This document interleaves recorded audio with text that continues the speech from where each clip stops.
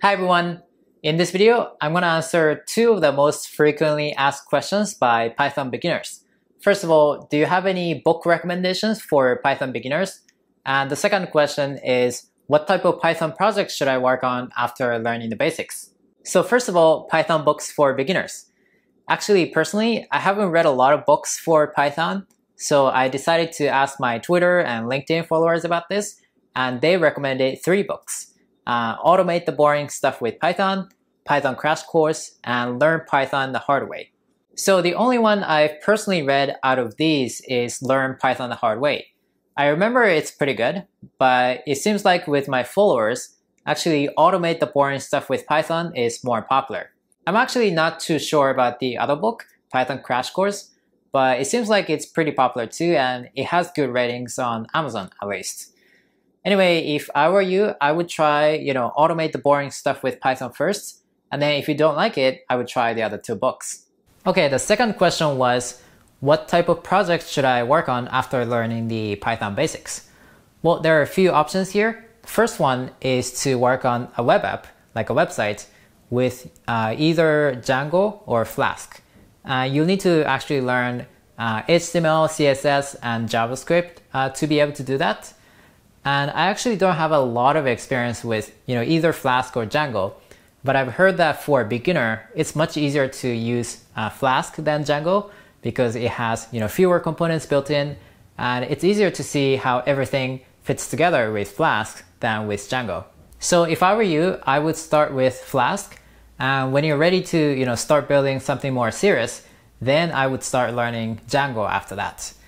And to learn all of those things, I recommend video websites like Pluralsight, Udemy, and YouTube.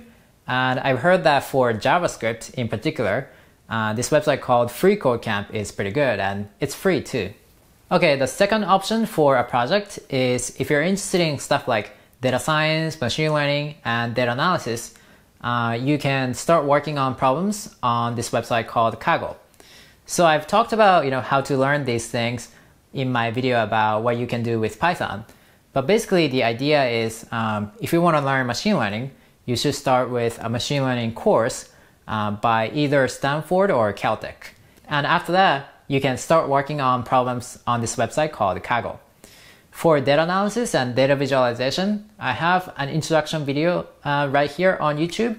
And I also have a full course uh, on the same topic on this website called Pluralsight. Now, either of these options is pretty good, you know, making a web app or uh, working on a machine learning project. But the only thing is to do either of these projects, you need to learn something extra, uh, either JavaScript or machine learning. So you might say that's kind of too much. Well, if that's the case, there's another option. You can either build a game with Pygame or a simple desktop application with Qt or Tkinter. Now, like I said in one of my previous videos, Python is actually not the best language for either building games or desktop applications. But I think it's good enough to build one of these if you just want to practice using you know, Python.